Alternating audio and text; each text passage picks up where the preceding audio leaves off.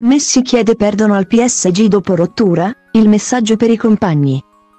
Roma con un video sul proprio Instagram ufficiale, l'attaccante argentino del PSG Leo Messi chiede perdono. Ecco cosa ha detto, mi pento e mi scuso con i miei compagni, il club e i tifosi. E questo il messaggio della Pulce, dopo la fuga di due giorni in Arabia Saudita senza aver chiesto il permesso alla società.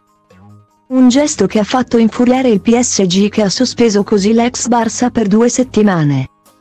Salterà due turni di campionato e durante questo periodo non riceverà lo stipendio. A quanto pare però, l'argentino ha capito la lezione e umilmente si è scusato con tutti. Virgola.